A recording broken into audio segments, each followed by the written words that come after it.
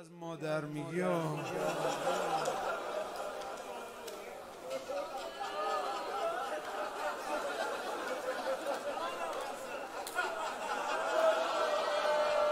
سب کن سب کن.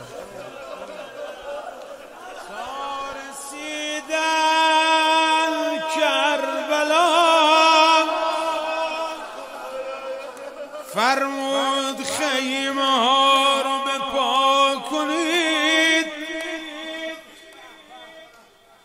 بابا ما همه شنیدیم یکی سوار می‌کرد یکی پیاده می‌کرد.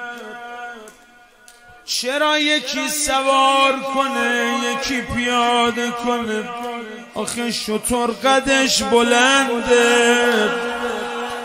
ابل فز و جلو صدا زد یا کرام قدو ابصار کن. میگن بنی هاشم اومدن کوچه باز کردن. اولیا مخدر زینب می‌خواد پیاده شه. با این که همه گورش و محرما گرفتن.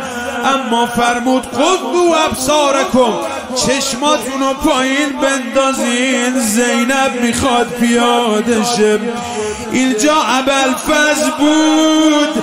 محرمام حتی چشماشون رو پایین انداختن. اما من یه آقا سراغ دارم دستاشو بستن. جلو چشش ناموسشو زدن. حالا فهمیدی یا نه؟ من رمز خونم من شب و روزم روزه است. همه زندگیم روزه است. به این امام رضا بهت رحم می‌کنم. همش تو خودم میریزم. ای میگم نگو جوونا اذیت نشن. از سیدا شرم کن. اما چه کنم؟ تو خودت وادارم می‌کنی. چل نفر علی را یه طرف میکشیدن.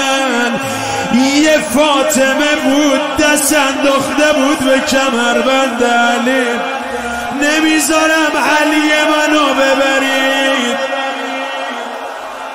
هر کی دست مرخص داره دو دستی تو صورتش بزنه.